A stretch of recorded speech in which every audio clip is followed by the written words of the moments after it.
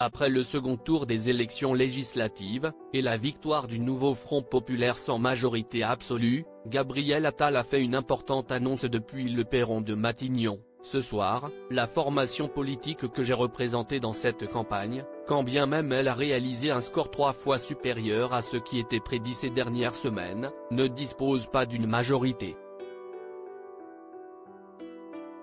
Ainsi, fidèle à la tradition républicaine et conformément à mes principes, je remettrai demain matin ma démission au président de la République.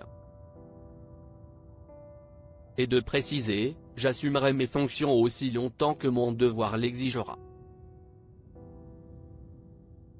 Je ne me résous pas et ne me résoudrai jamais que l'offre politique soit scindée en trois blocs dont chacun cherche la disparition de l'autre, car ce n'est pas la France. Il ne faut pas s'attendre à ce que l'actuel locataire de l'Élysée désigne, dans la foulée de la démission de Gabriel Attal, un nouveau Premier ministre.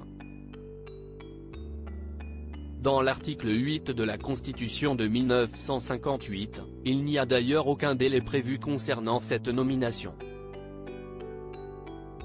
De ce fait, l'Élysée a indiqué dimanche soir que le successeur de François Hollande veillera au respect du choix souverain des Français suite aux résultats des élections législatives anticipées.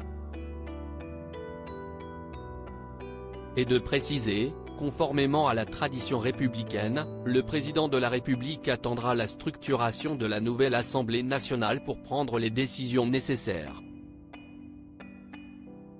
Affaire à suivre, donc supérieur à supérieur à Nicolas et Carla Bruni, Christian Estrosi et Laura Tenucci.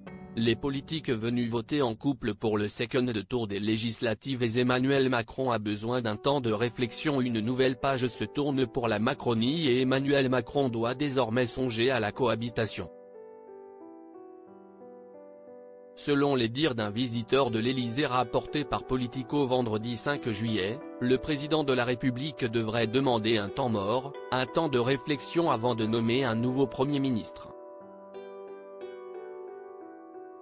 Les scénarios sont pourtant nombreux pour la suite et Emmanuel Macron pourrait nommer un Premier ministre de gauche, nommer un gouvernement technocratique, composé de spécialistes de leur domaine, techniciens ou hauts fonctionnaires pour s'occuper des affaires du pays avant de nouvelles élections législatives, ou encore décider de refuser la démission de Gabriel Attal. Crédit photo, Jacques Witt pour Bestimage